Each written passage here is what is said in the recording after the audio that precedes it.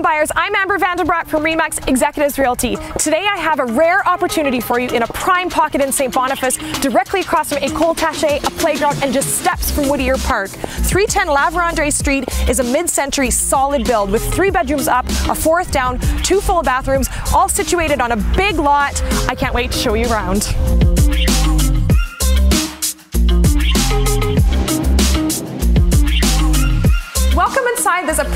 Approximately 1100 square foot bungalow with tons of natural light streaming in through this front window, original oak hardwood floors. This updated kitchen was done in 2014 and offers a beautiful open concept design, perfect for when you're in the kitchen and your kids are doing homework or you're entertaining on the weekend. There's an updated bath to check out and three bedrooms.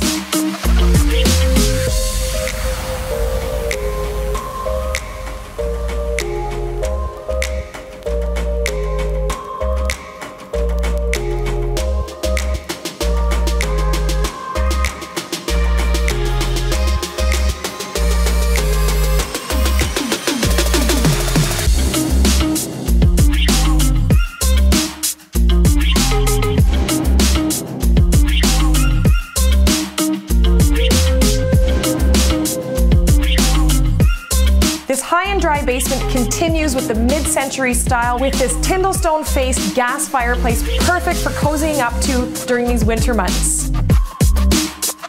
As you head past the home office space to see that fourth bedroom and second bath, let's talk about all the great upgrades in this home.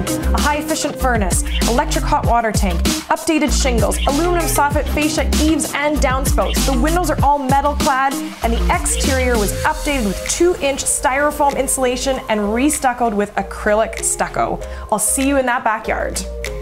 Welcome to your huge south-facing backyard. Perfect for the gardener and the family with garden boxes in the back corner, Concord grapes growing on the fence, and this space is perfect for entertaining. A covered hot tub for inviting your friends over on the weekend, and this updated deck for dining al fresco. If you're a young couple or a young family, this home is perfect for you. It's equal distance between all three schools in St. Boniface. You're close to restaurants, parks, great little coffee shops in the area. So if you'd like to view this beautiful home in person, my number's below. Like, comment, share. We also have a great virtual tour online if you'd like to check that out. My name is Amber. I'm going to help you love where you live.